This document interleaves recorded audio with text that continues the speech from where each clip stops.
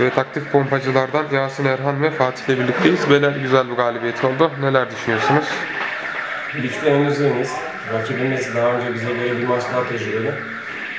Yeni oyuncularla bir arada oynuyoruz. İlk maçımız. Ee, izleyenlerin takdirini sunulur ama gayet iyi bir uyumumuz vardı. Ee, bu maç güzeldi. Rakibimiz iyiydi. Sert geçmedi maç. Biz e, şöyle söyleyeyim, ilk maçımız yendik ama bundan sonra da rakip tanımıyoruz. Bu galibiyeti de e, savunmadaki arkadaşım Yasin'e hediye ediyorum. Teşekkürler. Peki Fatih sen neler söyleyeceksin? İlk maçımızdı. Çekişmeli geçti maç.